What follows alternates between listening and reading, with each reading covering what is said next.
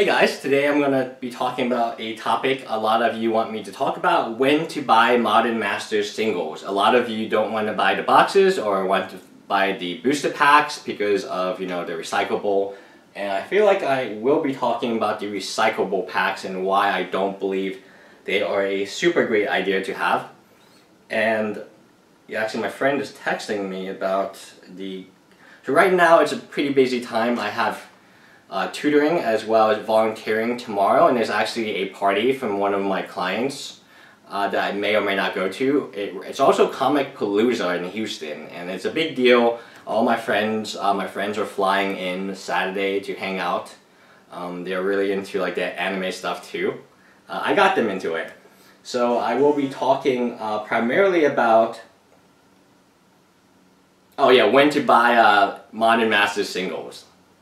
And the best time to buy them will be after GP Vegas. It'll be that week right after GP Vegas because you have to imagine all these stores are in GP Vegas and they're buying all this stuff. And so many packs are being opened, right? It's crazy. And the price of a, the singles will plummet. I mean, if you look at Tarmogoyf, people said, oh, Tarmogoyf would never be $150.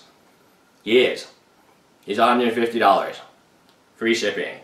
Um, now, when you talk about you know the prices of certain singles, I think that if it is a non-mythic, if it's a rare or remand, for example, would be a good one, or the uh, the green one, the giant growth effect that's green, that's kind of vast vines of the vast void, which is a common. Uh, commons are definitely going to tank in price. The uncommons will tank in price, including remand. And then the rares will tank in price. The mythics will pretty much hold their price, and that's because although there's more of them, what happens is if you pull one Tarmogoyf, you have two options. Your options are to go ahead and try to get a place out of them, so you can use them, which I'm totally okay with that option. That option makes a lot of sense to me personally. Um, if you pulled a Tarmogoyf or if you pulled two Tarmogoyfs, God forbid you pulled two Tarmogoyfs, um, then getting two more is like really reasonable to me. Now, Cryptic Command, Fumir Fulminator Mage, uh, Leyline of the white one, um, all these cards should drop tremendously in price or significantly in price after GP Vegas is over because you have so many packs opened. If 10,000 people are opening at least six packs apiece, that's 60,000 packs. And then you have side events easily in Las Vegas. Easily with side events, you could have over 200,000 packs opened.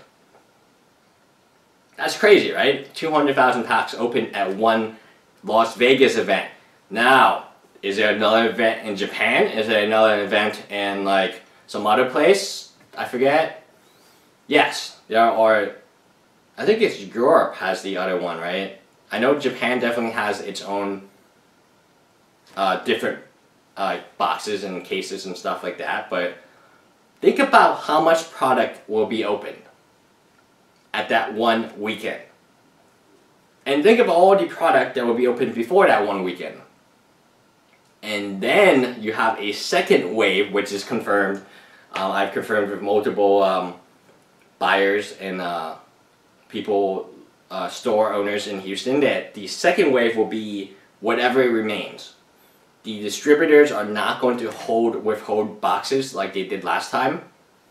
And so the print run is a lot bigger than the original Modern Masters 1 print run, and that means the prices should tank more. Um, so yeah, be uh, be on the lookout for that. Um, and you know it, it's going to be interesting. Definitely don't buy right now when the price is high. I don't know when this video is going to be posted but um, right now the prices are high. There's hype around it. They haven't settled yet. Yes maybe there's one or two cards that goes up but for the large majority of the cards they should be about the they should either stay the same until GP Las Vegas is over or they should go down a little bit. So I would say hold off wait on buying some of these cards wait for GP Las Vegas to be over, and wait for the flood of uh, modern MasterCards. Bye guys.